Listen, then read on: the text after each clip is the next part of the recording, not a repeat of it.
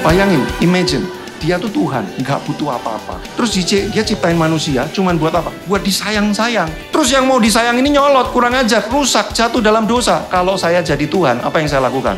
Buang aja. Tapi Tuhan nggak loh. Dia bilang gini, rusak, tapi aku sayang sama manusia. Nggak apa-apa, kita benerin sampai bener. Uh, tapi harganya mahal Yesus. Harganya adalah kamu harus keluar dari surga, darahmu tercucur, kamu mati, kamu merelakan nyawamu, bukan cuma itu, kamu akan menderita selama beberapa waktu demi supaya dia jadi benar lagi. Nggak apa-apa.